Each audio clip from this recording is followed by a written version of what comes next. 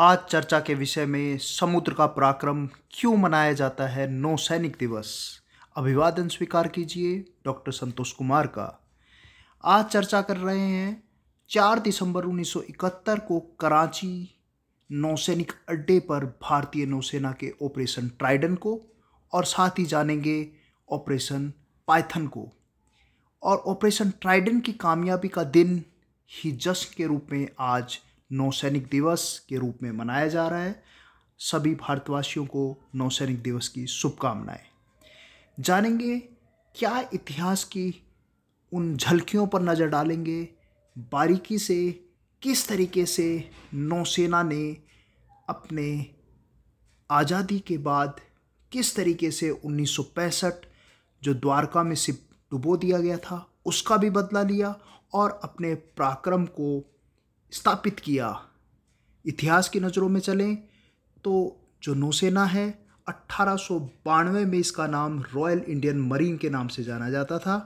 और सत्रहवीं शताब्दी की बात करें तो मराठा सम्राट छत्रपति शिवाजी ने नौसेना, तब वह बॉम्बे मरीन के नाम से जानी जाती थी।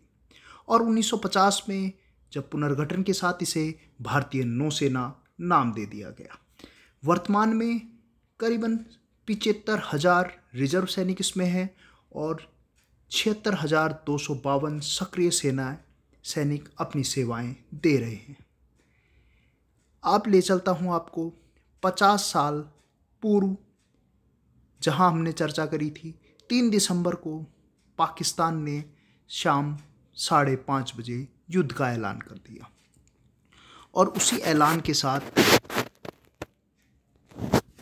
जहाँ पाकिस्तान एयरबेस, आप ये देख रहे हैं ग्लोरियस डे ये ग्लोरियस डे यानी कि ग्लोरियस एक नाइट थी, क्योंकि तीन दिसंबर को जहाँ पाकिस्तान ने अपनी करतूतों को जग ज़ाहिर किया और तत्कालीन प्रधानमंत्री ने इसका जवाब देते हुए, पूरी तरीके से तीनों सेनाओं ने मुस्तैदी के साथ ठाना कि वह किस क्षेत्र पर अपना जवाबी कार्रवाई देते हुए पाकिस्तान को डटे रख सकती है।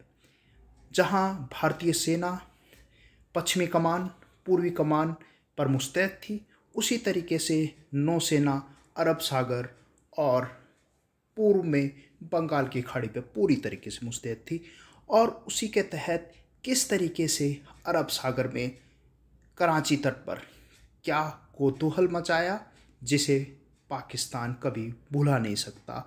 और भारतीय नौसेना के लिए ये गौरवान्वित महसूस करने वाला दिन चार दिसंबर। इसीलिए रात्रि में यह अभियान दस बजकर चालीस मिनट पर शुरू हुआ था और करीब रात ग्यारह बजते बजते ग्यारह बज के बीस मिनट तक पूरी तरीके से जो भी वहाँ ऐतिहासिक घटना हुई जो नौसेना के इतिहास में एक अमिट छाप छोड़ती है और जिसको अमेरिकी स्पेस एजेंसी ने, अंतरिक्ष यात्रियों ने ऊपर से लपटें इतनी तेज़ थी कि उसको वहाँ से उन्होंने देखा और ये लपटें सत्तर मिनट तक चलती रही। आगे बढ़ते हुए, आगे देखते हैं और किस तरीके से, जहाँ आप देख रहे हैं तीन दिसंबर को पूरी तरीके से युद्ध की घोषणा हो चुकी है और भारतीय ठिकानों पर 12 नौसैनिक अड्डों पर हमला कर दिया गया Our country faced challenges from both West Pakistan and East Pakistan and was left with no choice but to respond with decisive force.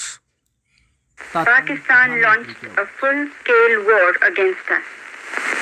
The Pakistan Air Force suddenly struck at our airfields in Amritsar, Pathankot, Srinagar, Avantipur, Uttarlai, Jodhpur, Ambala and Agra. Prime Minister's message to the country was clear. Aggression must be met. For the Indian Navy, it was a coming of age, a baptism by fire, an opportunity to take the war to the enemy. The task for the Navy clearly defined in the message from the Chief of the Naval Staff, Admiral Nanda. और इसी तरीके से हम ये देखें कि admiral Nanda का जो उस समय एडमिरल नंदा नौसैनिक प्रमुख थे पूरी तरीके से उन्होंने आश्वस्त कर दिया था सैम मानिकशाह के नेतृत्व में तत्कालीन प्रधानमंत्री श्रीमती इंदिरा गांधी को कि Pakistan that has been committed as a unproved aggression against us and our defense forces have been ordered to meet this challenge with their full courage and determination पूरे जोश और साहस के साथ हमें दृढ़ता से इसका सामना करना है and me my objective is to search and destroy Pakistan ships, warships, and along with sister services to inflict maximum damage on the enemy war machines. No sacrifice should be too much for us. Let us write a new chapter in the history of our service.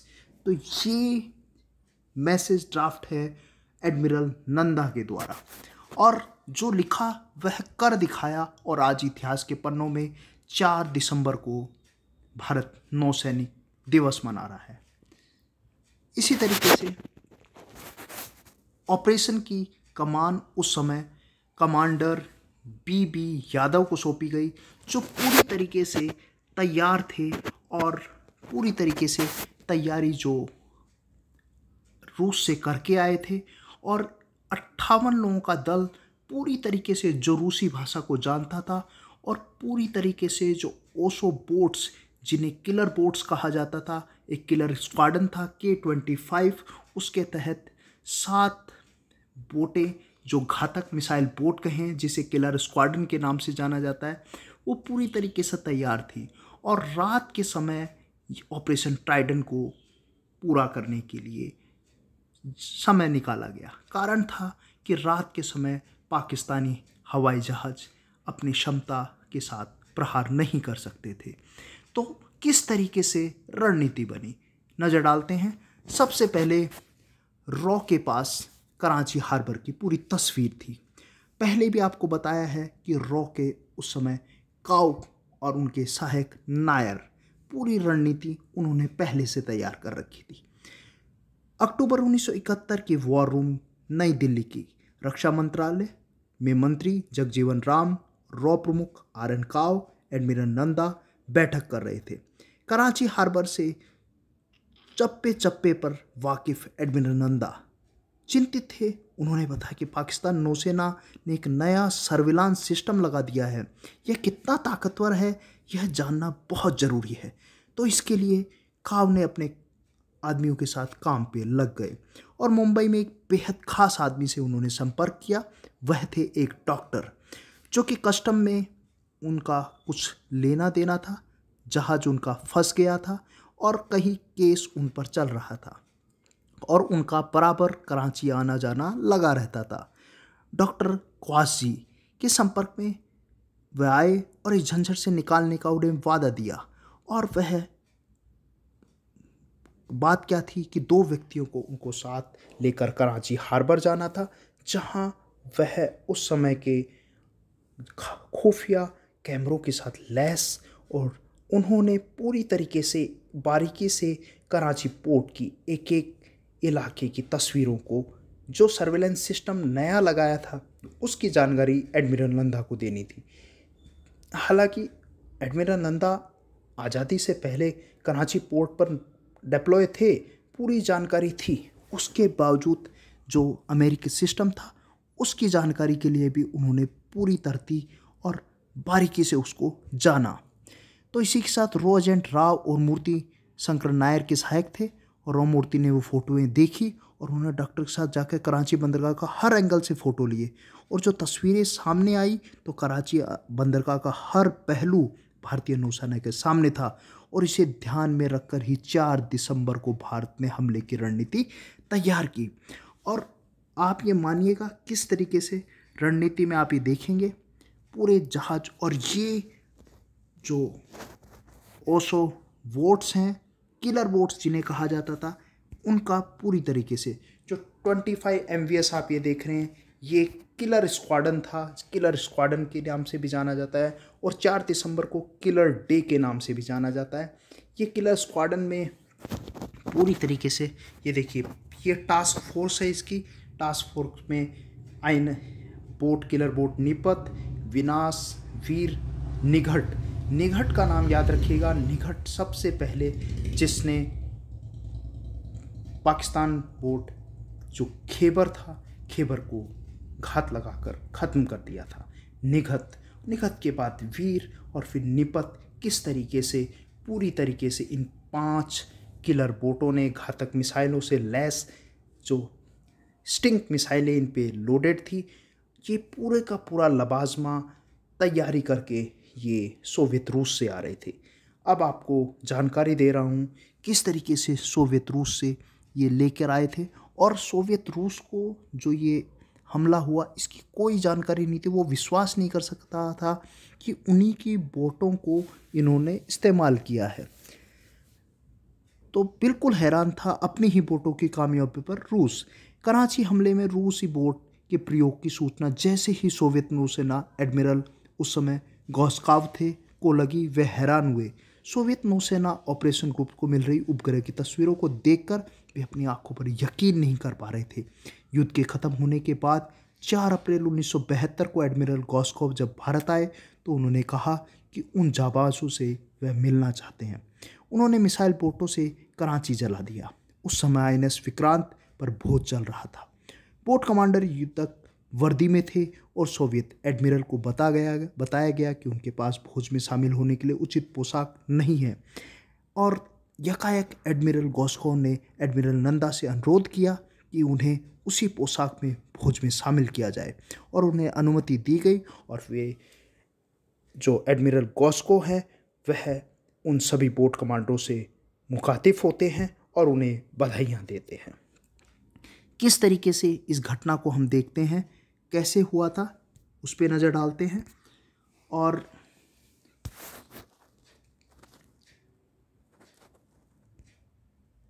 और इसी के साथ तीनों बोटों ने कैसे तबाही की, उस पर आगे चलते हैं। तो रात्रि के दस बजकर चालीस मिनट और इस तरीके से आइनस निघट ने खेबर पर पहली मिसाइल दागी और कराची से 45 मील पहले खेबर डूब गया। यह वही जगह है जहाँ उन्नीस सौ पैंसठ में द्वारका नौसैनिक अड्डे पर हमला किया गया था और इसके कमांडर का नाम गजनी था। और ये, वह बदला भी पूरा होता है, साथ के साथ एक गौरवान्वित महसूस करता है नौसैनिक और करीब 11 बजे निपात ने अमेरिका से हथियार ला रहे पीएनएस चैलेंजर को डुबो दिया और तीसरी मिसाइल बोट वीर ने ग्यारह बज के बीस मिनट पर दूसरे पाकिस्तानी पोर्ट पी पीएनएस मुहा मुहाफिज को पोर्ट का निशाना बनाया और पूरी तरीके से वो इसको पता नहीं लगा पाए। कारण था कि जो बातचीत कर रहे थे, वो सभी रूसी भाषाओं में बात कर रहे थे और वो समझ नहीं पा रहे थे कि क्या बातचीत है। कोई अंदेशा नहीं था उन्हें किस तरीके से तीनों बोटें पहुँच रही थी और 40 मील दूर कराची से उन्होंने टारगेट को हिट किया। और मिसाइल चलते ही, और जो मिसाइल का निशाना वो बिल्कुल सटीक और सत्तर मिनट तक आग के लपटों से घिरा हुआ कराची पोल और वह पोत 19 मील दक्षिण में जाकर डूबा। ये है पीएनएस खेबर तबाही ही तबाही। बिल्कुल पाकिस्तानी एयरफोर्स बिल्कुल नहीं समझ पा रहा था, उसे करना क्या था। पूरी तरीके से जो आर्थिक उसकी राजधानी कराची थी पूरी तरीके से दुनिया से काट डाला गया और फिर पी एन एस मुहाफिज और फिर अमेरिका जो हथियार चैलेंजर को टारगेट बनाया गया। और ये कहानी आगे चलते हुए हम आपको बताते हैं कि उस समय जो प्रमुख एडमिरल नंदा सुंदारी लाल मथुरादास नंदा के नेतृत्व में ऑपरेशन ट्राइडल पूरी तरीके से सक्सेसफुल उनकी स्टोरी चलती है और वो पूरा तरीके से लिखते हैं कि operation Trident successful Karachi ablaze. I am proud of you. और इसी के साथ वो गौरवान्वित महसूस करते हैं क्योंकि एडमिरल नंदा जो ऑपरेशन ट्राइडन का नेतृत्व कर रहे थे और पूरा प्लान उन्होंने ही बनाया था। नंदा का जन्म मनोरा आइलैंड कराची में हुआ था। नौसेना में नौकरी की शुरुआत यहीं से हुई थी। यही वजह थी कि वह इसके चप्पे चप्पे से एडमिरल नंदा भली भांति वाकिफ थे। उन्होंने ये योजना बाई, बनाई और इसे पूरा करने की ज़िम्मेदारी पच्चीसवीं स्क्वाडन, जिसे किलर स्क्वाडन कहते हैं, के कमांडर बबरू भान यादव को दी, जो बबरू भान यादव से भी आपको रूबरू करवाएँगे, जिन्हें महावीर चक्र से नवाजा गया। दूसरा सबसे बड़ा गैलेंट्री अवार्ड। इसी के साथ K P commander K P Gopal Rao को भी महावीर चक्र मिला जो सबमरीन को कंट्रोल कर रहे थे। ईस्टर्न साइड में उनका भी लाजवाब कारनामा था और इसी तरीके से कमांडर बबरू भान यादव को दी गई और रात को तीन मिसाइल बोट निपात, निघट और वीर कराची के लिए नवा रवाना हुई। ऐसे में दो पटाइया क्लास फ्रिगेट किल्टन और कलछाल टो करके ले जा रहे थे, क्योंकि वो छोटी थी, पता ना लगने के लिए उन्हें साथ टो करके ले गया और इसकी प्रैक्टिस पहले ही की जा चुकी थी। जब क्रेन न उपलब्ध होने के कारण कोलकाता से इन बोटों को उतारा गया और फिर मुंबई बंदरगाह लाया गया।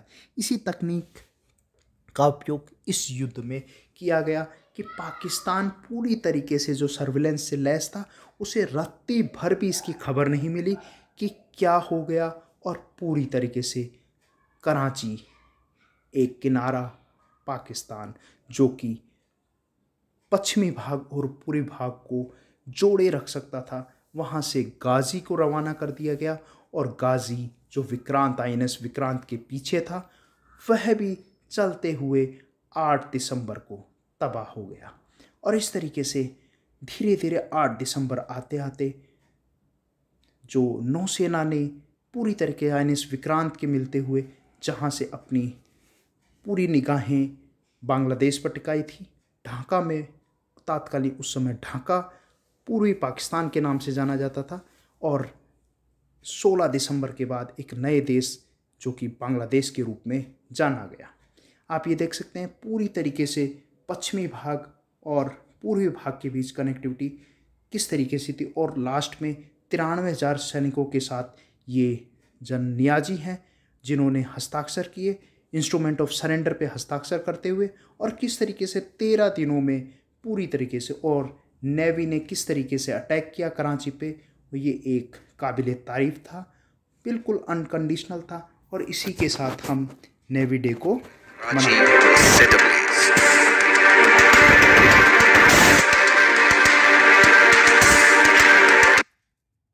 और ये हर काम देश के नाम। ये है नेवी डे की अपनी पहचान और इसी के साथ अब आपको ले चलते हैं कुछ खास झलकियाँ जो इस भारतीय नौसेना के रोमांच को और प्रदर्शित करती हैं।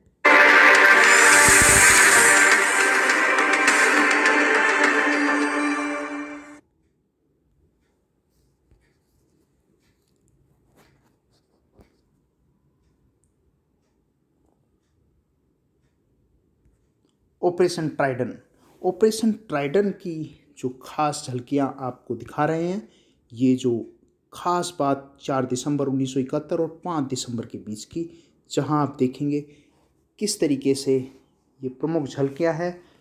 एक हिस्टोरिकल नेवल हिस्ट्री थी जब ऑपरेशन लॉन्च कहाँ कराची के खिलाफ लॉन्च किया गया था, आप पूरी तरीके से देख सकते हैं। और किस तरीके से कुल मिला के यहाँ पर no casualty from the Indian side in the Pakistan suffered a huge loss including the death of five sailors and injured seven hundred and the day is also celebrated as a navy day के नाम से जाना जाता है। आप ये देख रहे हैं किस तरीके से उन्होंने पूरा प्लान बनाया। At night the Pakistan did not have aircraft that could carry out bombing at night रात में हमला नहीं कर सकते थे। इसीलिए हमने जो समय चुना था, वो रात का ही चुना था। और इसके साथ ऑपरेशन ट्राइडन जो शुरू हुआ, उसके हम मुखातिब हुए आप लोगों से। और ऑपरेशन ट्राइडन की अपनी ही पहचान है नौसैनिक इतिहास में।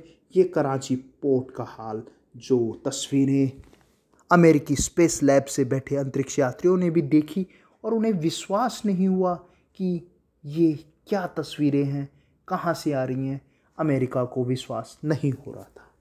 और इसी के साथ ये ओसो मिसाइलें किस तरीके से तैयार अपने टारगेट की तरफ़ निगत जो ऑपरेशन ट्राइडन में जिसने खेबर, पीएनएस खेबर को गिराया और दो मिसाइलों से पूरी तरीके से निस्ते नाबूद कर दिया। ऑपरेशन ट्राइडन का अपना ही महत्व, जो इतिहास और इसी तरीके से operation Trident Indian navy day के रूप से जाना जाता है। अपनी ही पहचान खास आप ये देखेंगे ये तस्वीरें वहीं से। आप ये देखिए बारीकी से। पूरी रणनीति को आप ये ध्यान देंगे। पूरी रणनीति किस तरीके से? ये देखिए पी एन एस मुखाफिज, जो आई एन एस वीर के टारगेट से ख़त्म हुआ किलर मिसाइलों से, जो स्ट्रिंग मिसा स्ट्रिक मिसाइलें थी पी एन एस खेबर दो मिसाइलों से डूब गया। निघट ने पहला अटैक किया था। कुल मिला के सात किलर मिसाइलें थी, जिनमें से पाँच का अपना ही लाजवाब कारमाना, कारनामा देखने को मिला। और इसी तरीके से मुखाजिब को तो अपना संदेश भेजने से पहले ही आईएनएस वीर ने मार गिराया। और उसी तरीके से एम वी वीनस चैलेंजर जो पाकिस्तानी से सामान लेकर आ रहा था, उसको आई निपत ने नो डुबा दिया। और इसी के साथ धीरे धीरे आगे बढ़ते हुए ये आई एन किल्थन का, जहाँ से उसने पूरी तरीके से पाकिस्तान के आंतरिक जो तेल डिपो था, जिसकी आग की लपटें सत्तर मिनट तक लगी रही और जो उन्नीस मील डूब, में मुहाफिज डूब गया था। तो ये सभी तस्वीरें वहीं से, जो कि एक इतिहास के पन्नों पर नौसैनिक का अपना ही एक खास है। ये फ़र्स्ट विक्टम है पाक नेवी का, डिस्ट्रॉयड पीएनएस खेबर की तस्वीरें आप देख रहे हैं। और ऊपर फ़र्स्ट स्ट्राइक में जो स्टिंग मिसाइलें हैं किस तरह से पीएनएस खेबर को तबाह किया? और ये ऑफेंसिव और ये वाकई में भारतीय नौसेना का कमाल था, जो कि आज़ादी के बाद भारतीय नौसेना पर 1971 में उन्होंने जो कारनामा कर दिखाया वो काबिल तारीफ़ रहा। और इसीलिए हम historical day naval victory day के रूप में चार दिसंबर को नौसैनिक दिवस मनाते हैं। वीडियो को लास्ट तक देख लिए। धन्यवाद। नमस्कार। वंदे मातरम। आपके कमेंट हमारे लिए सर्वोपिय हैं। इसी तरीके से कुछ और रोचक झलकियाँ, सेना, गौरवान्वित किस तरीके से हमारे देश को कर रही है, फिर आपसे मुखातिब होंगे। तब के लिए नमस्कार।